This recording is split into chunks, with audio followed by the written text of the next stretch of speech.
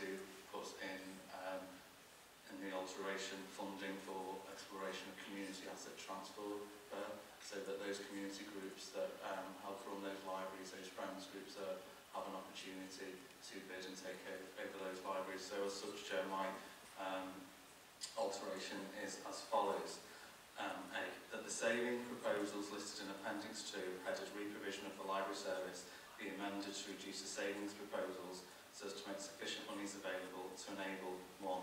Library to remain operating for the purpose of the community facility and library centre at a cost of £78,000. 2. Expressions of interest in community asset transfer of the libraries that may be closed to be supporting and assisting the production and implementation of business cases at a cost revenue of £282,000. And 3 an allocation from within the 2022-23 capital programme be identified where necessary to enable expressions of interest in community asset transfer of the libraries that may be closed to be supported and assist in the production and implementation of business cases at a cost of £500,000. And four, libraries currently propose to cease operation as of 1st of July to continue to operate until the 1st of November 2022 whilst expressions of interest for the community asset transfer are sought and business cases developed and assessed, which will,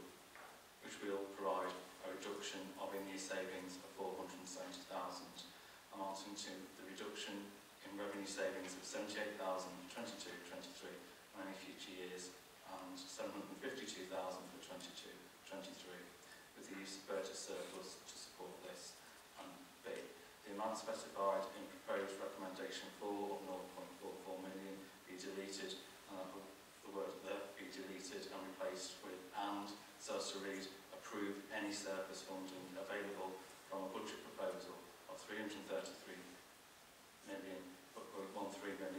to be transferred to the general fund. Thank you. Councillor Nolan? Thank you. Um, I'm supportive of, of Councillor Anderson's um, proposed alterations because I think it's so important that we do wherever we possibly can keep our libraries open where that's possible, where it's possible to support communities, to take them over then we should and in areas where that may not be possible um, I would urge this committee um, to accept and I would urge Councillor Anderson to add to his alteration that um, along with keeping Greasby Library open, that we also keep Rock Ferry Library open because, as I explained when I was presenting the petition, it's one of the most deprived areas in the borough and I think it's absolutely inequitable if we don't also agree as a committee to keep that open and recommend that to full council.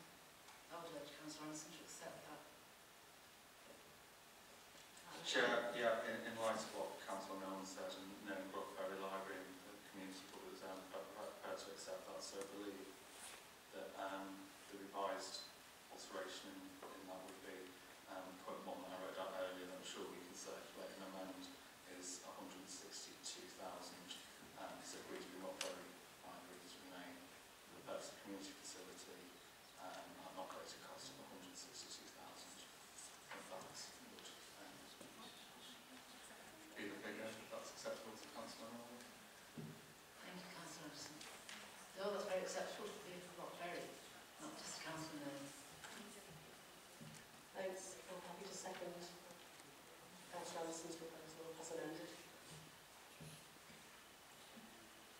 once again were reminded of Emma's alteration second movers. And Chair, uh, my, my second alteration is, is not financial, but bearing in mind what um, was discussed about, about golf courses and notwithstanding the, the, the subsequent vote and recommendations Council, but I just have an alteration that the um, saving proposal listed in Appendix 2, headed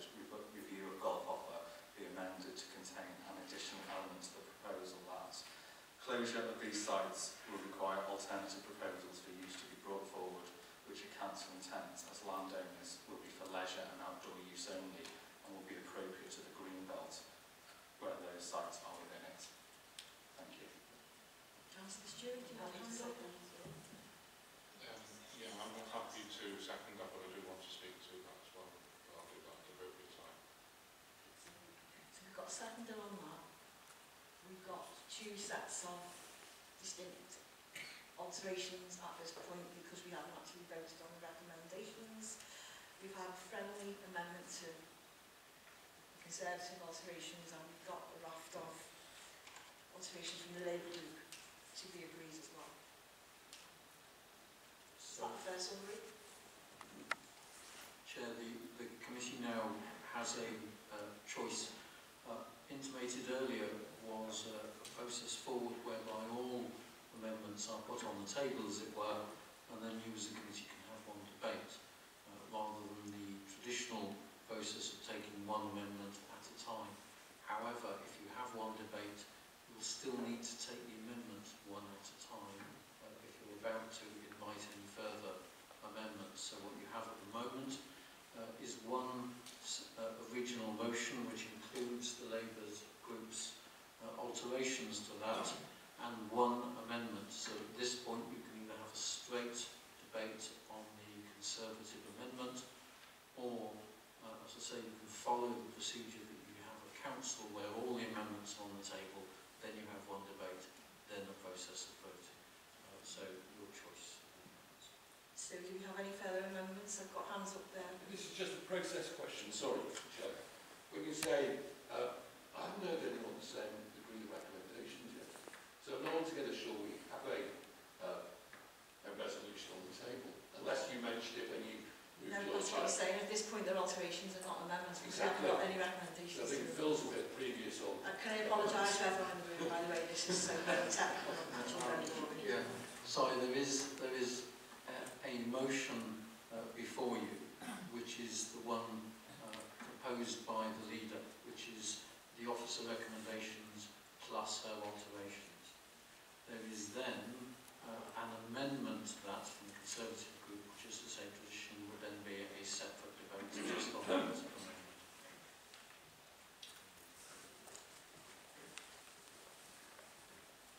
It's a long rise, really. so, Councillor Gilchrist. Thank you, Chair. Um, earlier today I did circulate the text of a suggested amendment uh, which Councillor Hayes is happy to second. I'll read it, though it has been circulated but not printed, um, because I think if officers are circulating them, then I'm happily relying on them. I'll read what it said. The committee recognises that consultations over the future of a number of facilities do not close until 27th of March. In addition, at the time of writing, consultation on the future shape and extent of library provision has not yet commenced. Given the views expressed by the report from CIPFA and their opinion on the extent and range of non-statutory services, along with those covered by the provisions of the Libraries and Museums Act 1964, the committee recognises that it is not practicable for all the services offered by the Council to remain as provided. Having regard to these constraints, it is essential that any groups or organisations interested in the potential of community asset transfer are given adequate time and sufficient information to assemble their business cases.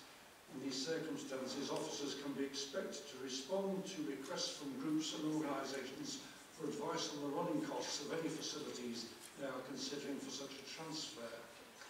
In these circumstances, the timing of the need to make budgetary savings may undermine the ability of a group to assemble its case to take over an asset on behalf of the community. A clear aim should be to avoid an asset being damaged or neglected in any transition whilst productive negotiations take place. Further aim should be to ensure that such negotiations are concluded in a timely manner so that an orderly transition can be arranged if practical. To facilitate this, the 0.44 million contained at recommendation 4 will be removed and added to the 3 million contingency for delivery of first or in-year savings as specified at paragraph 3.21 of the report. And the up-to-date position on productive and meaningful approaches can then be reported to the June cycle of committees. Thank you, Chair. Yeah. Councillor Cleary. Sorry, Chair, can I just Get some legal advice, please. I think that would be a direct, neg- so um, there's similar elements there, but there'd be direct negations to mine, so how would that work? Um, yes, Chair. So uh, the, the process you're following at the moment is the one that you adopt at council, where all of the amendments put on the table. You have one debate, the amendments are taken one at a time, and in this case in the order they receive. So if the Conservative group's amendment is accepted, the, the um, Councillor Gilchrist's and Councillor Hayes' amendment would simply fall away as it stands.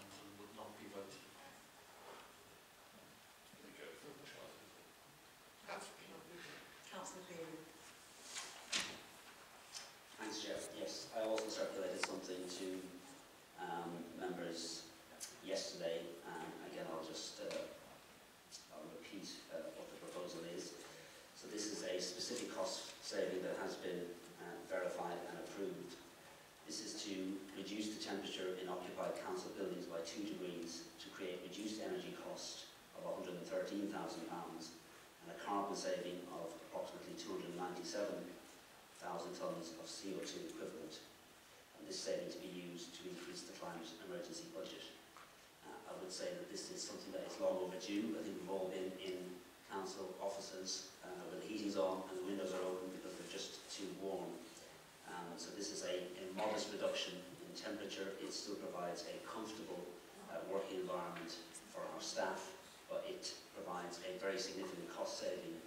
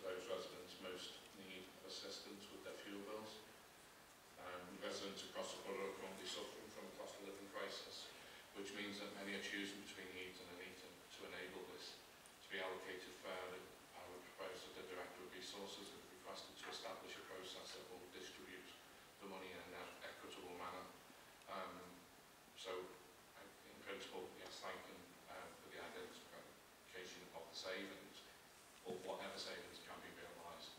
I think we need to recognise as a council that many of our residents are going to struggle with their energy bills in the coming months and years. And I think that where we can identify any additional funding to help those most vulnerable, I think that we should. So that's my proposal. I'll second that, Chair. I I agree with that. Just, um, I have a question, thank you both. Um, I think there was a question there from Councillor Stewart about the increased cost to uh, fuel at the minute and the- So I'm assuming that that is inbuilt into the savings, is it? Yeah, thank you, Chair. Just, I was just looking at the uh, pressures that we have uh, built in for, uh, for next year in terms of energy. There is a significant increase in, um, a, a significant pressure built in for energy increases um, next year. It's just, I was just trying to find it. It is actually uh, 2.72 million, and that's to take account of the additional energy increases next year. Um, Councillor Cleary has shared the information with me in advance in terms of those energy savings which have been provided by the Council's energy advisor. Um, and the original proposal is actually uh, less than the uh, the proposal being submitted is actually less than the original proposal. So it has been reduced for some optimism